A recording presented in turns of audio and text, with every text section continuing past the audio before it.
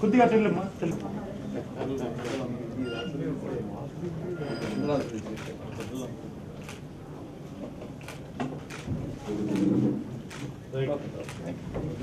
నమస్కారం.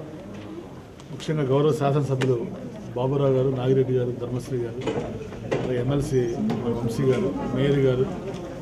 మరి వచ్చినటువంటి విద్యార్థులు వారి తల్లిదండ్రులు అందరికీ నమస్కారం. ముందుగా ఈరోజు చాలా సంతోషం. ప్రపంచంలో ఏ సమాజమైనా ఏ దేశమైనా కానీ అభివృద్ధి చెందిందంటే అది ఒక విద్య ద్వారానే మరి అలాంటి విద్యకి అగ్రపేట వేసినటువంటి మహానుభావుడు ఆనాడు డాక్టర్ వైఎస్ రాజశేఖర రెడ్డి గారు. దేశంలో మొట్టమొదటిసారిగా ఫీజు రిమేస్మెంట్ పథకం పెట్టి కొన్ని లక్షల మంది డాక్టర్లు ఇంజనీర్లు ఐఏఎస్ ఐపీఎస్ అవడానికి దోహదపడ్డ వ్యక్తి ఆయన. మరి ఆనాడు డాక్టర్ భీమరావు బాబాసాహెబ్ అంబేద్కర్ ఏదో చెప్పాడు. మరి సమసమాజం రావాలని అది విద్య ద్వారానే వస్తుందని బలంగా నమ్మినటువంటి వ్యక్తి డాక్టర్ వైఎస్ రాజశేఖర రెడ్డి గారు. మరి ఆయన ఈ ఆయన ఎప్పుడూ చెప్పేవారు.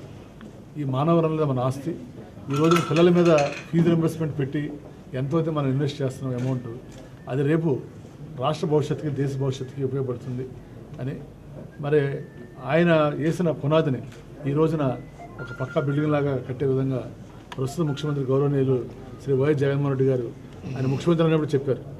పేదవాడి సంక్షేమ విషయంలో నాన్నగారు ఒక అడుగు వేస్తే నేను నాలుగు అడుగులు వేస్తానని వాళ్ళు నాలుగు అడుగులు పది అడుగులు వేశారు ఆయన. మరి ఆనాడు ఫీజు ఇన్వెస్ట్మెంట్ పెట్టినప్పుడు ముప్పై వేల రూపాయలు ఇంజనీరింగ్ ఫీజు ఉండేది.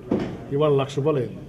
మధ్యలో చాలామంది పిల్లలు ఫీజులు కట్టలేక ఈ మెడిసిన్ ఇంజనీరింగ్ ఫీజులు కట్టలేక చదువులు మానేసిన పరిస్థితులు మనం చూసాం. ఆత్మహత్యలు చేసుకున్న పరిస్థితులు మనం చూసాం. అలాంటి పరిస్థితుల్లో సుదీర్ఘ పాదయాత్రలను చూసి ప్రజల కష్టాలు పిల్లల కష్టాలు చూసి ఆయన ఒక హామీ ఇచ్చారు. నేను ముఖ్యమంత్రి అయిన తర్వాత ఎంత ఫీజు ఉన్నా అంత ఫీజు పూర్తి ఫీజు రీఎంబర్స్మెంట్ చేస్తానని. మరి అన్నమాట ప్రకారం ఈ రోజున కొంచెం రాష్ట్ర ఆర్థిక పరిస్థితి బాగోకపోయినా కానీ కరోనా వచ్చిన తర్వాత ఇంకా మరీ ఇబ్బందులు పాలైనప్పుడు మరి ఎక్కడా కూడా నేను అన్నమాట తప్పకూడదు. ఆ రోజు నేను ఒక మాట ఇచ్చాను. ఆ మాట ప్రకారం పిల్లలకి మరి ఇవ్వాలి అని. ఆరు వందల నలభై కోట్ల రూపాయలు. మరి గతంలో బకాయిలు కూడా రెండు వేల కోట్ల రూపాయలు అలా చంద్రబాబు గారు ఎక్కువ వెళ్ళిపోయాడు.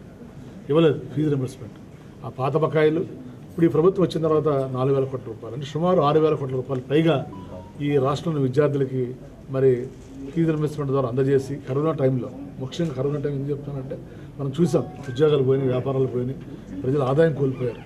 అలాంటి పరిస్థితుల్లో కూడా నేను ఉన్నాను అని ఒక ఒకే ఒక్క మనిషి ఆయన రాష్ట్ర ముఖ్యమంత్రి. కొన్ని లక్షలాది మంది యువతకి ఈ రోజున ఒక నమ్మకాన్ని భరోసాను కల్పించి వారి బంగారు భవిష్యత్తు పునాది వేసిన వ్యక్తి. అలాగే ఈ రోజున మనం విశాఖపట్నం జిల్లా చూసుకుంటే సుమారు లక్ష మంది స్టూడెంట్స్ ఉన్నారు. దీని ద్వారా లబ్ధి పొందేవారు. మరి యాభై ఎనిమిది కోట్ల రూపాయలు ఈ రోజున మూడో విడత వేయటం జరిగింది. అంటే ఒక మనిషికి చిత్తశుద్ధి ఒక కమిట్మెంట్ నిబద్ధత ఉంటే ఎలా ఉంటాడో దానికి ఉదాహరణ జగన్మోహన్ రెడ్డి గారు. ఒక మనిషికి రాష్ట్రం ఏమైపోయిన పర్ల ప్రజలు ఏమైపోయిన పర్ల నా ఓట్లు ఉండాలి నేను బాగుండాలని కోరుకుంటే చదవాలి మరి ఆయన చేయలేని ఈ రోజున ఏదైతే హామీలు ఇచ్చారో ఇచ్చిన హామీలు కానీ ఎవరి హామీలు కానీ సుమారు కోటి పది లక్షల కుటుంబాలకి లక్షా ముప్పై వేల కోట్ల రూపాయలు ఈ రెండున్నర సంవత్సరాల కాలంలో ప్రజాధనాన్ని ప్రజలకి వాళ్ళ కులం చూడాల మతం చూడాల ప్రాంతం చూడాల వాళ్ళ మా పార్టీ ఓటేసారో కూడా లేదు చూడలేదు అంటే ఎలాంటి వివక్షత లేకుండా ఎలాంటి అవినీతి లేకుండా ఈ రోజున అందజేసి దేశానికి ఒక ఆదర్శంగా నిలిచినటువంటి ముఖ్యమంత్రి శ్రీ గౌరవనీయులు శ్రీ వైఎస్ జగన్మోహన్ రెడ్డి గారు.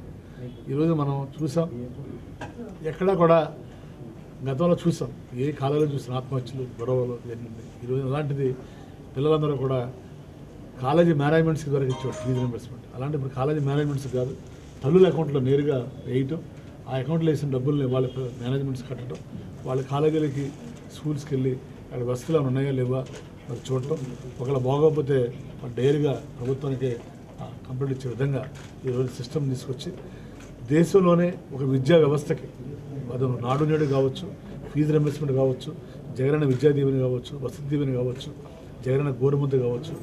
ఇలా సుమారు ఒక ఇరవై వేల కోట్ల రూపాయల పైగా బడ్జెట్ని విద్యకి కేటాయించి అగ్రపీఠ వేసినటువంటి మహానుభావుడు మరి శ్రీ వైఎస్ జగన్మోహన్ రెడ్డి గారు.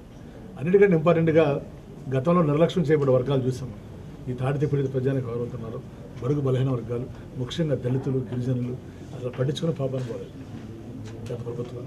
కానీ ఈరోజు పాడేరు లాంటి ఒక మారుమూల ప్రాంతంలో ఐదు వందల కోట్ల రూపాయలతో మెడికల్ కాలేజీ శంకుస్థాపన చేయడం కాదు ఆ వర్క్స్ కూడా ప్రోగ్రెస్లో ఉన్నాయి. అలాగే కురుపాములో ఇంజనీరింగ్ కాలేజ్. ఇలా చెప్పకుండా వెళ్తే మరి ఒక సువర్ణ అధ్యాయం విద్యా వ్యవస్థకి మన జగన్మోహన్ గారి పరిపాలన చెప్పుకోవచ్చు. తప్పనిసరిగా దీని యొక్క ఫలితాలు రాబోయే జనరేషన్స్ అందరూ కూడా మనం అందుకుంటారు. ముఖ్యంగా ఎవరైతే నిర్లక్ష్యం చేయబడ్డ వర్గాలు ఇప్పుడు ఈనాడు ఇప్పుడు బాబురావు ఉన్నారు. ఆయన ఎలా వచ్చాడు? స్వశక్తితో పైకి వచ్చాడు ఆయన. రిజర్వేషన్ ఉండొచ్చు అది వేరే. కానీ చదువు ద్వారా ఆయన స్వశక్తితో టాలెంట్ తోటి అలాంటి బాబురావులను మహానుభావులు ఎంతోమంది రేపు పొద్దున జగన్మోహన్ గారి పుణ్యమని రాజశేఖర్ గారి పుణ్యమని ఈ రాష్ట్రంలో తయారు కాబోతున్నారు. వీళ్ళందరికీ కూడా ఒక సౌవర్ణయుగం తప్పనిసరిగా మరి యువత దీన్ని గమనించాలి. ఎందుకనంటే జనరల్గా సినిమాల్లో చెప్పడం చాలా ఈజీ. ఏమని అవినీతి లేని పరిపాలన చేస్తాం ఎలాంటి వివక్ష లేని సమాజాన్ని నిర్మిస్తాం. కానీ దాన్ని నిజ జీవితంలో చేసి చూపించినటువంటి real hero Shri YS Jaganmohan Reddy garu తప్పనిసరిగా మరి ఈ రోజున అలాంటి నాయకుడు నాయకత్వంలో పనిచేస్తుంది. మీ అందరం కూడా మా అందరికీ సంతోషంగా చాలా గర్వంగా ఉంది. తప్పనిసరిగా రాబోయే రోజుల్లో ఈ విద్యార్థులు ఎవరైతే చదువుకుంటున్నారో రాష్ట్ర అభివృద్ధిలో వీళ్ళు మంచి ఉన్నత స్థానంలో పైకి వచ్చిన తర్వాత రాష్ట్ర అభివృద్ధిలో కానీ దేశ అభివృద్ధిలో కానీ మరి కీలక పాత్ర పోషించాలని మనస్ఫూర్తి కోరుకుంటున్నాను. సెలవు